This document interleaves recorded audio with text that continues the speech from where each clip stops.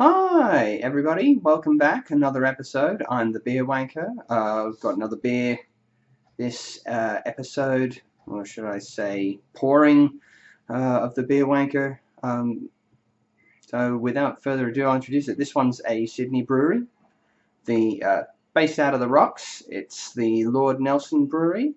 Um, it's getting pretty popular. I mean, it's you know a, a, craft brewery linked to a pub, so they have a lot of uh, you know tap fresh stuff. But um, you know they do also sell out to the out to the shops as well for you to take and drink it at home. Um, this one's a uh, seasonal ale, and uh, it's titled the Second in Command Brown Ale. Uh, the Lord Nelson Brewery tends to uh, title things from uh, from from the British Navy as it has uh, the the pub has quite a a rich uh, history in uh, in the rocks as one of the uh, as one of the earliest pubs uh, there and for you know for for hosting sailors and recruiting them by certain methods. Um, so what we get is this glorious brown colored ale uh, you can smell chocolate, you can smell biscuits and toffee, um, and then you get a slight, uh, you know, slight sort of, um, getting a slight bitter smell from the from from some of the hops there. Um, so uh, let's give it a go. Mmm, delightfully smooth.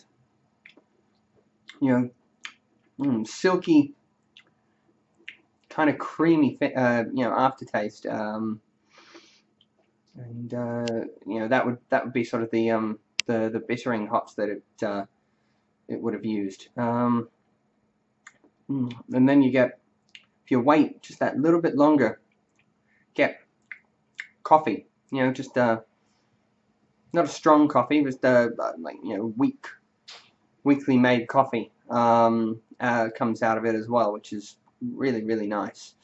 Um, what I would eat with this? It's got to be a dessert.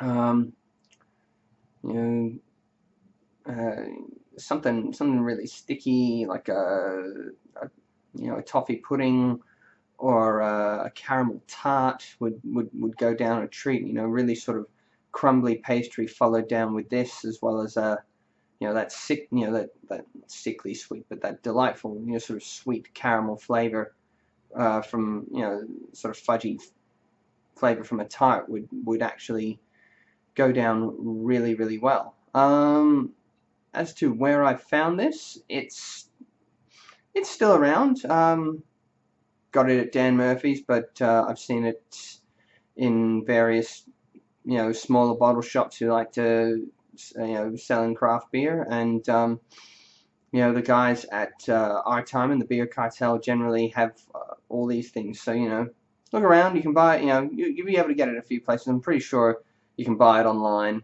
um, or you uh, can go down and try it at the um, at, at, the pub itself in the rocks. Um, you know that would that that'd be my place. You know then it's it's tap fresh and you know we all know it always tastes better on tap than it does out of the bottle.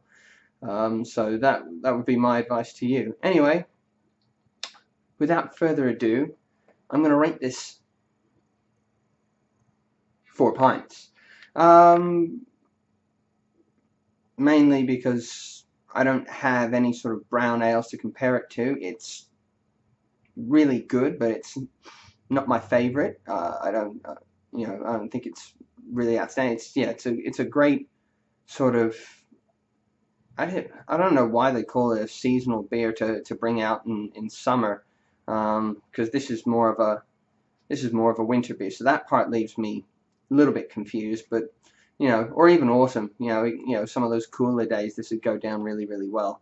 Um, but otherwise, look, a, a refreshing drop. If you have some, drink it. If you don't have some, get it. Uh, and that's about uh, that's about it, really. That's about all I've got. Anyway, happy drinking. Do it responsibly. Catch you next time.